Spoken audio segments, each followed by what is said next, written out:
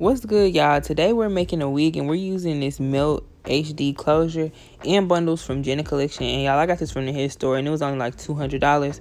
So I think it was pretty good. Um, There's the closure. It looks really good to me.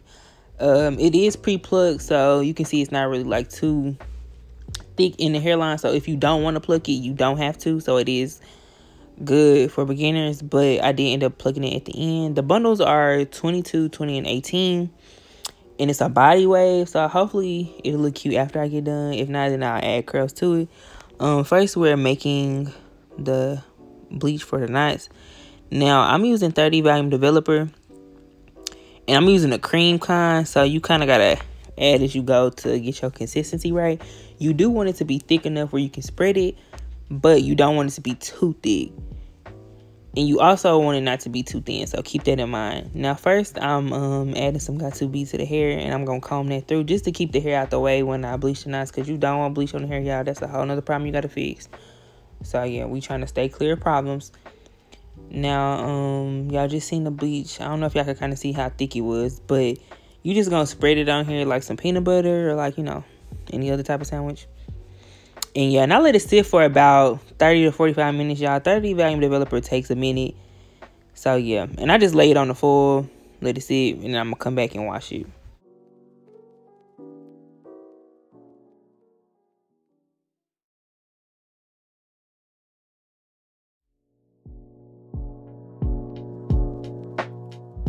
So this is what the closure turned out to look like. I did have somebody pluck it some more for me. So yeah, that's why it looks the way it does now. Um, you want to pin your closure down before you start sewing, and you want to make sure that it's flat. Because if it's not flat, it's gonna be bumpy, and you don't want that. So make sure it's flat. Um, I'm using clothespins, y'all. I ran out of T-pins, so yeah. Um, the way I'm sewing it though, I'm just sticking it through the thickest part of the closure, and then I'm just uh, wrapping the thread around before I pull the needle all the way through, and that just make like a blanket stitch. Um, I'm not sure if everybody else sews it like this, but this is the way I've always sewn it. Um, you can just go over and under if you want, but I feel like that's not as secure, so that's why I do it like this to make sure that it's not gonna come out.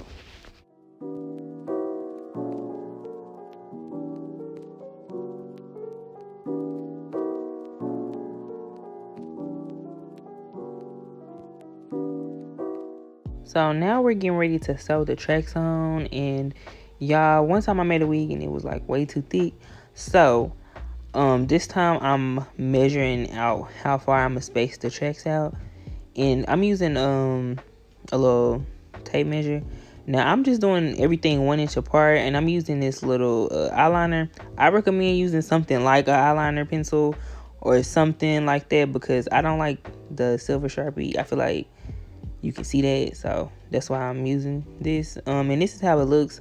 Uh right now i kind of got it like just going straight around. You kind of got to arrange the lines where in the middle it kind of like overlap a little bit because you know your head kind of curves over. So you do want to make sure you accommodate for that. Um when I'm sewing the tracks though, y'all, like you can't see in this one because I didn't really pin this one down. But I do pin the tracks down before I sew them. It makes it so much easier. As you can see, I'm trying to like kind of hold it and do it. And it's just, it's extra. So I recommend pinning it down before you sew. Now with sewing, when I'm at the end of a track or at the beginning, I'm going through the track with the needle. After I sew that down about two or three times, then the rest of it, I just go um, underneath it and so like on top. And the thread just holds it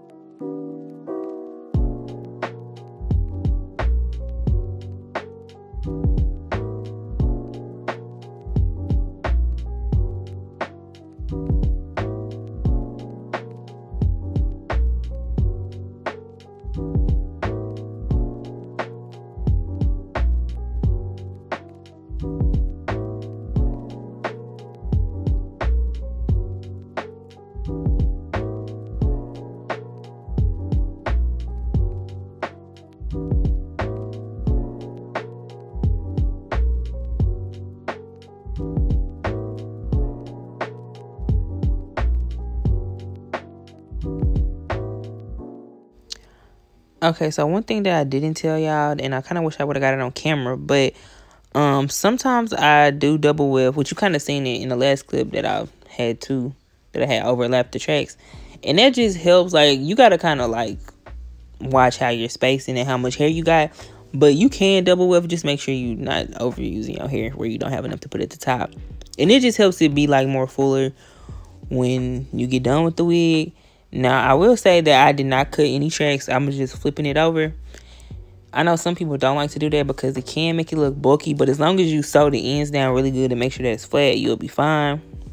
And now you can see me um sewing the track closest to the closure, y'all. And I sew right after the closure. I do not leave no space because I don't want it to look thin after the lace, y'all. That's not a cute look. So I sew it really close. I don't know if you post to or not. I don't know. I just do. So yeah. And as you can see like how i was telling y'all about me going underneath the track instead of through it this is what i mean. And i'm just wrapping the thread around the needle. And then i'm pulling it through.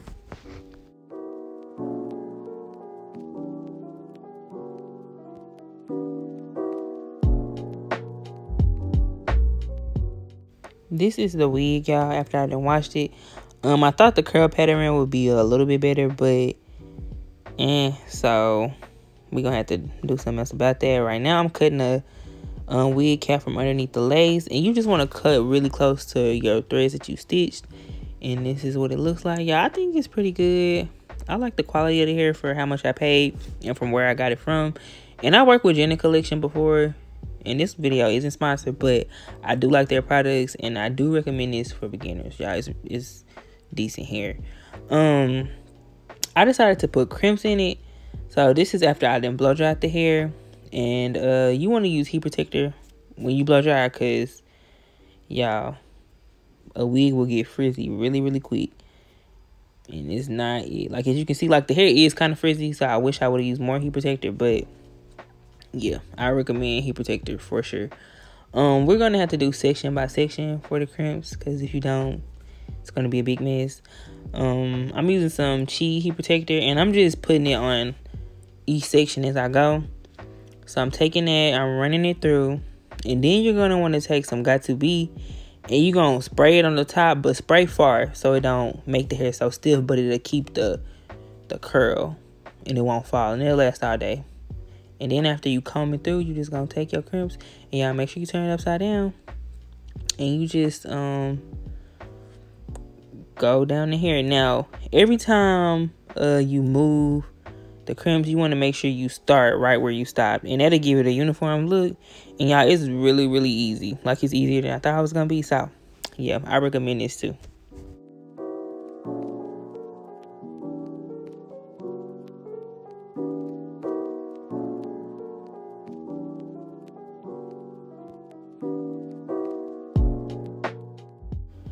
Right so y'all i forgot to do an outro or record me finishing curling the wig. So this is how the wig turned out y'all. I think it's really it's decent. It's really straight. I like it. I think it's good for what i paid for it.